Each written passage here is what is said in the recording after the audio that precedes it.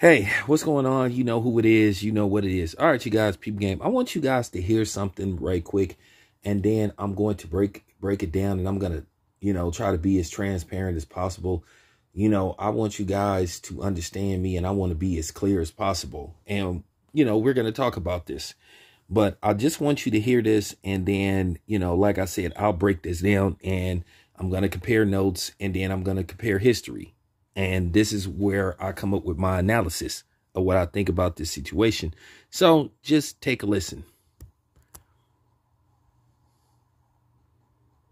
To see how he shoots in the first quarter. And if you would have got here on time, when the game started, you would have seen Michael has been burning it up. Now, you're a football player, yet you do basketball. I mean, I'm asking the question. You never see like uh, Kareem Abdul-Jabbar doing a boxing match. He how knows- did you he- get to he do knows this? How did you get nothing this job? boxing Because I'm like that. Okay.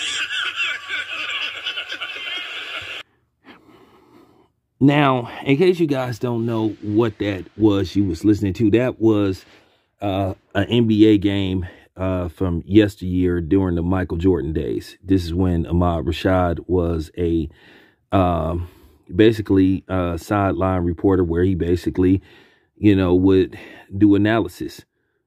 And he did an interview, a quick interview with Chris Rock. And basically, you know, I guess this interview was set up and I guess Chris Rock arrived late. And, you know, uh Ahmad Rashad made a little joke and a little light lecture about Chris Rock coming on time.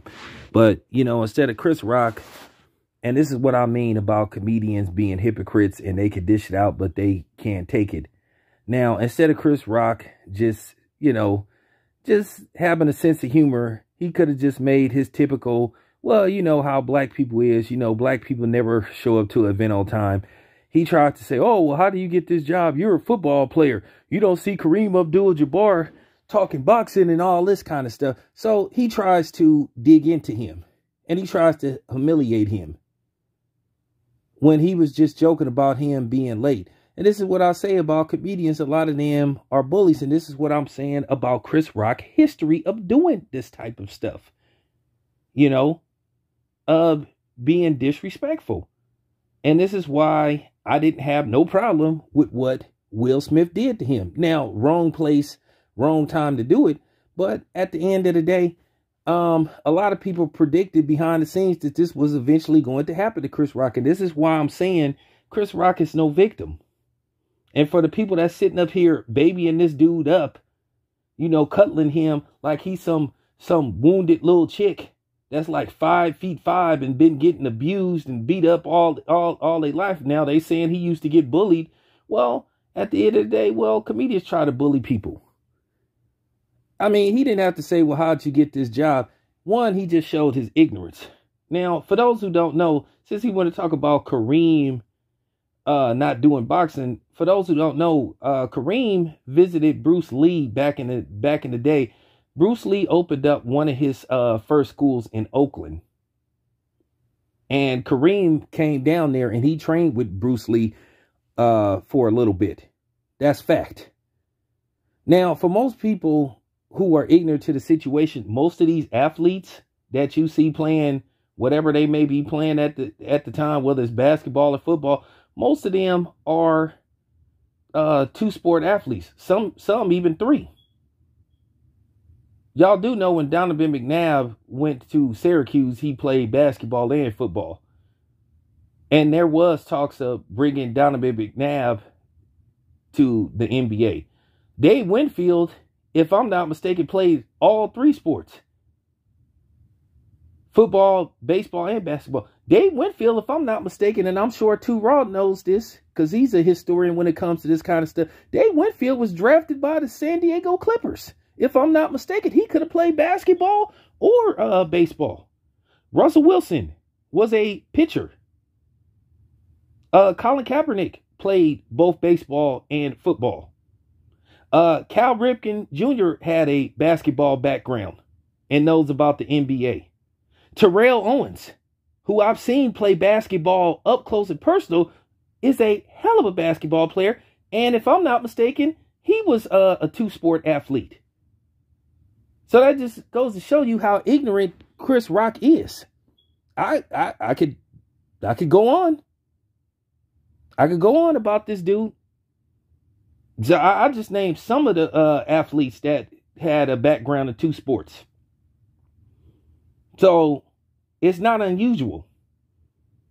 And as you can see, Frank Gore has went from football to being a professional boxer. And Frank Gore flatlined his last opponent. So this isn't nothing out of the ordinary.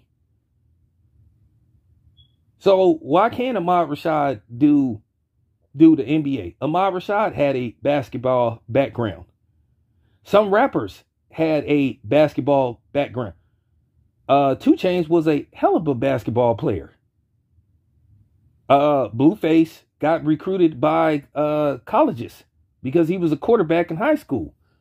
So for Chris Rock to just say something ignorant, you know, just for trying to come back because he couldn't take a light-hearted joke, that just shows you his personality. But he wants to play victim.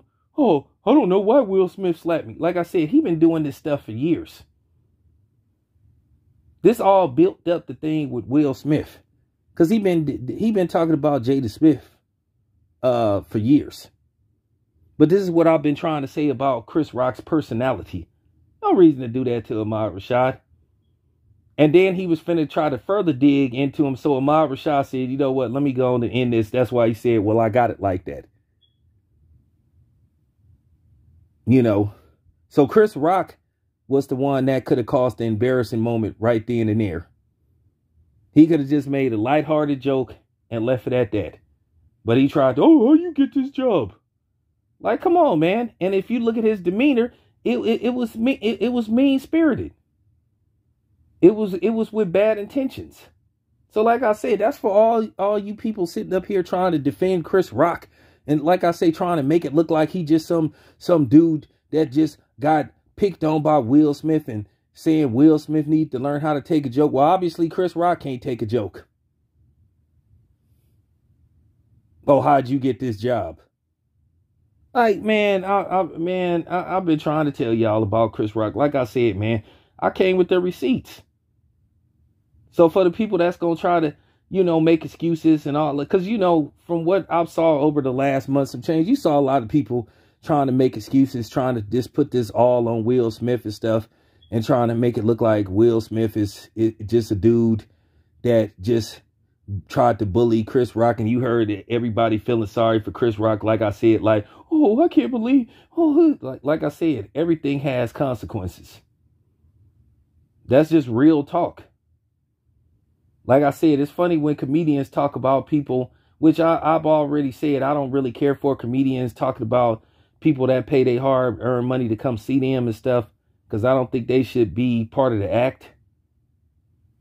For real. I'm coming to see you tell jokes about other people or yourself or people you know, not me. You know? So I'm, I'm just saying, man, I just wanted to further prove what type of cat that Chris Rock really is. Like I said, he have a mean spirit to him. And like I said before, he been doing this before. Go back to the 2016 Oscars where he made that that that smart remark about Jada Pinkett. Then that joke about Rihanna's panties, that could have been deemed as very inappropriate. Talking about it's like Rihanna's panties, you wasn't invited. Kind of that ain't this, and, and then trying to ridicule black people for basically saying, hey, that the Oscars have been ostracizing and freezing out and, you know, ignoring performances by black actors. Talking about, well, you know, I, am pretty sure in the 60s, well, you know what, we ain't talked about the 60s. We talked about what was currently going on in the Oscars history. And it coincides with racism, what was going on in the 60s. Punk. But anyway, man, I just wanted to give y'all some, you, you, you know, some quick receipts. You know, Town B is always on the job. I'm out.